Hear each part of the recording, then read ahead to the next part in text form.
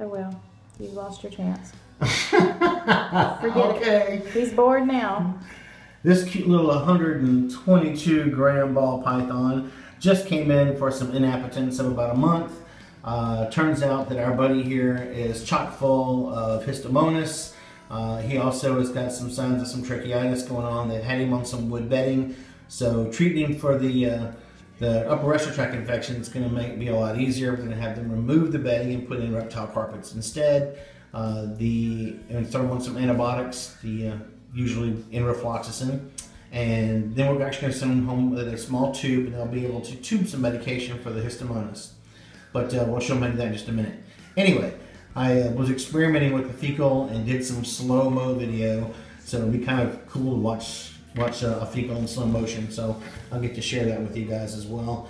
But uh, but for now, that's what we look like and hopefully we'll be gaining some weight and a whole lot healthier in the next uh, next week or so. All right, so stay tuned.